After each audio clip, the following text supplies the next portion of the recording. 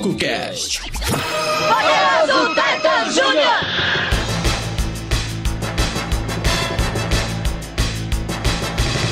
Uma distribuição tokusatsu.com.br, o Fantástico ou não, TokuCast está no ar, eu sou o Gil. Achei que comentários rápidos tivesse sido o da semana passada. É, é verdade, é verdade. Rapidinho, né, cara? Mais um TokuCast Júnior no ar. Eu sou o Gil, estou aqui com você, Kuroda. Estamos aqui novamente. Hello, it's me. E aí, pessoal, eu sou o Kuroda e é muito louco como Ultraman e a saga, as tal- a série de Ultra, tem dado muita repercussão no TokuCast, né, Gil? Ah, é verdade. E, assim, já até adiantando, né? Hoje nós vamos ter comentários só de episódios sobre a franquia Ultra. Ultraman começou a ficar também mais em evidência, né? Porque é, nós somos geração manchete, assim, a maioria das pessoas que, que tem a mesma faixa etária que a nossa não tem tanta ligação, não tinha tanta ligação com o Ultra, assim, né? A gente começou a pegar ligação com o Ultra mais, assim, de uns anos pra cá. No meu caso, gostei muito de Ultraman antiga, é, mas eu só fui começar mesmo a a não perder nenhuma série Ultra, a ver tudo que saía de Ultra, cara, eu acho que a partir de Ultraman X, cara. Porque antes eu via picado o Max, o Cosmos, sacou? Sei, sei, sei. É, eu não sou tão fã ainda. Lembro de, lembro de ter acompanhado. O último que eu acompanhei mesmo foi Max. É, porque eu achei, achei uma pegada legal, gostava da música. Mas é, realmente, nós nascemos numa época pós-Ultraman, né? Nossos pais têm mais, têm mais referências de Ultras do que a gente. Claro, nossa idade. Tem, tem pessoal da, do grupo, o Gago, por exemplo, já há 90 anos, ele acompanhou. Mas, mas nós tivemos o Tiga, né? E aí nós tivemos o Tiga. A gente teve a nossa, a nossa fatia de Ultra. Não fico atrasado mais de Ultra desde X. Pra mim é muito legal. É, é- é, antes eu não ficava atrasado com Sentai e com Kamen Rider. Hoje eu não fico atrasado com Sentai, com Kamen Rider e com Ultra, sabe? E gosto muito. Hoje eu aprendi a gostar e gosto pra caramba. E é muito gostoso a, a- a- a saber que hoje que eu sou fã da, da franquia Ultra, ver ela é, evoluindo cada vez mais, né?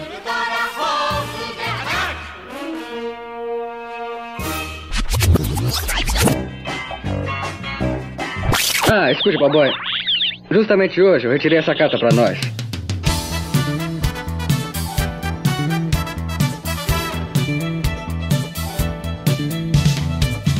Vamos ler alguns comentários aqui de vários casts sobre Ultraman. Eu vou começar lá no fundo, lá no passado, Ultra, No rancho fundo. Ultraman Zero, a Vingança de Belial, no Torrocast 35, cara. Olha só. Na época que nem tinha muito comentário. É, Engraçado isso, né? Que a Ana Paula Araújo Romeiro de Souza olha. mandou assim: Meu ultra favorito é o Ultraman Zero. Ó, Ultra, é, TokuCast 41 foi de Ultraman Z.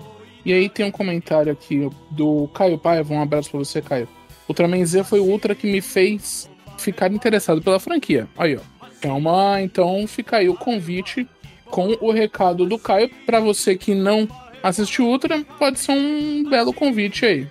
Com certeza. Eu vou ler aqui também agora do RX, do Desafio. Inclusive, em breve aí, né? Surpresas aí conosco aí no, no desafio.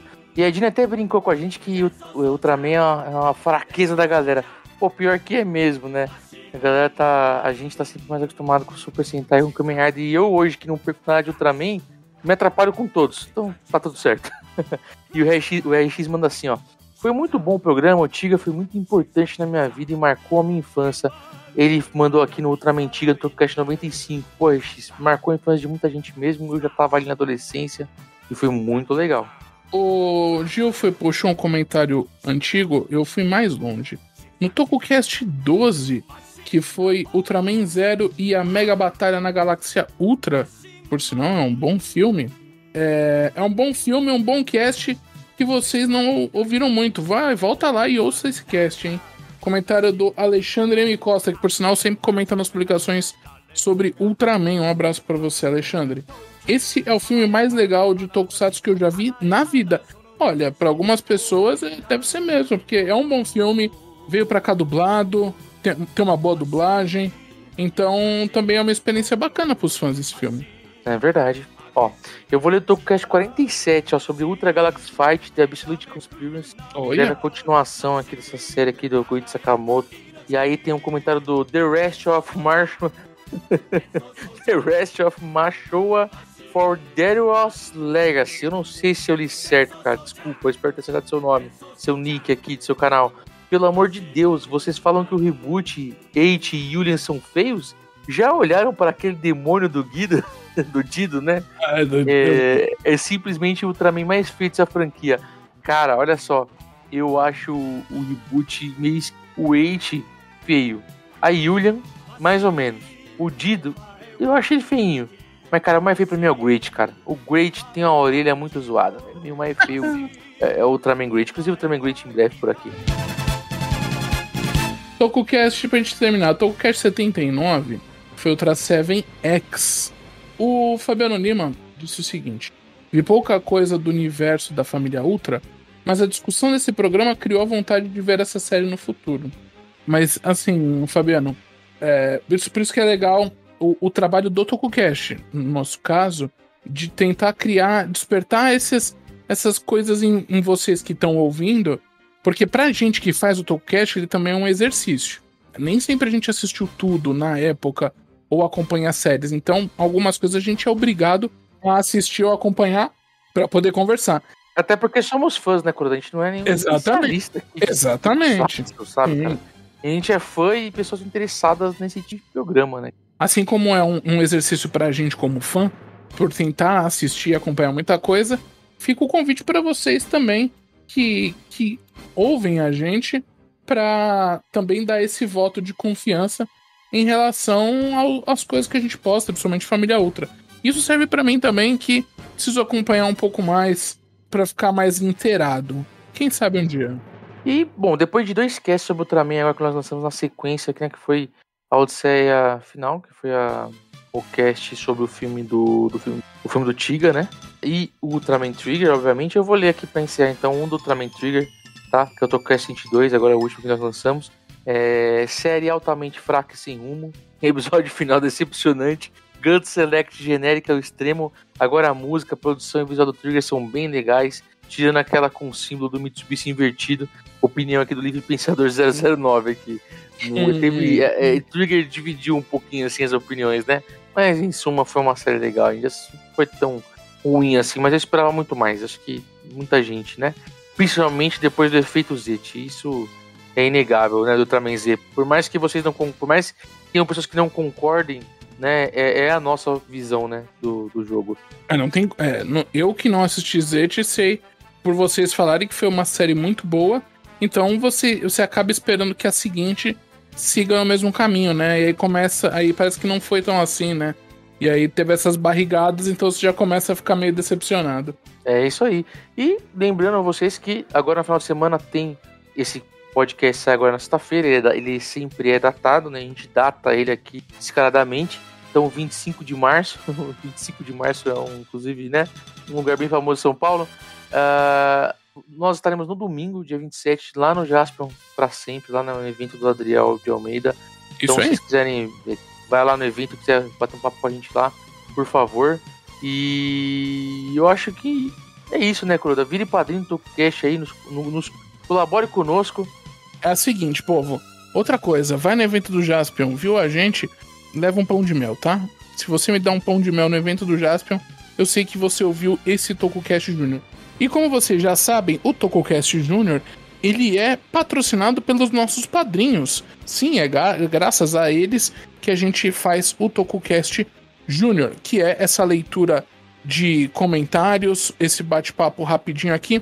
Então funciona o seguinte: você ouve o TokuCast e aí no- na semana seguinte tem o Júnior já antecipando o TokuCast seguinte. Você seja nosso padrinho, ajude a gente aqui a manter o TokuCast. Vai lá no YouTube, deixa seu comentário, o seu like e vai no Spotify e dá suas cinco estrelinhas. Acessando o Catarse ou o site do Padrim, você pode ser nosso padrinho, ajudar a gente. Tem planos aí a partir de 10 reais.